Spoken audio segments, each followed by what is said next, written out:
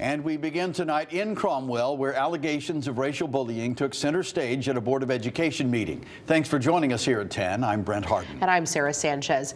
Tonight was the first time the board met since those allegations surfaced online. Since then, dozens of students, current and former, have come forward with similar stories. Many of them say staff have long been aware of the problem, but have never done anything to address it.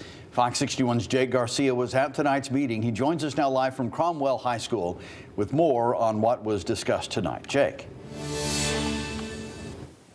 Well, Brent and Sarah, for the first time since the story broke right here on Fox 61, we're hearing from Cromwell Superintendent Dr. Enza Macri about the widespread racial uh, racism and bullying being uh, conducted here in, in Cromwell schools. Racism does exist in society, and schools are a microcosm of society.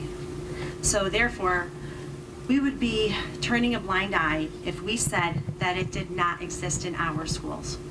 Cromwell Superintendent Dr. Enza Macri began Tuesday's Board of Education meeting by reading a prepared remarks addressing racism and bullying experienced in Cromwell schools.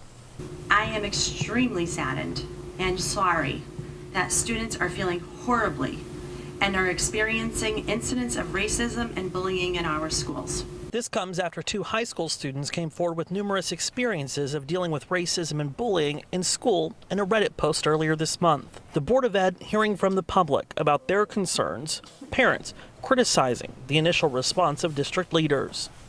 It was disheartening to me to see 500 plus comments of parents, of um, past alumni and students, and then to receive two letters that were uh, so full of political jargon. There was no apology, no recognition that this stuff happens. Cromwell's mayor proposing a multi-effort proposal to the Board of Ed and educating all students while offering support to those who experience hate on campus. It's devastating to hear these things, and I think we need to do better. There needs to be a zero tolerance policy towards discrimination, but I think it's more than just discrimination. It's about bullying, and it's about harassment, and it's about how we react to it.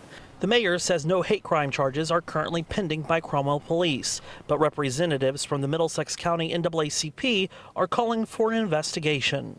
There should be an investigation, and once the perpetrators of these crimes are identified, they should be dealt with swiftly. So let's just sit and let that marinate for a second. These are hate crimes. Speakers couldn't help but notice that while the grown-ups were talking about hate in Cromwell schools, two little girls played together nearby.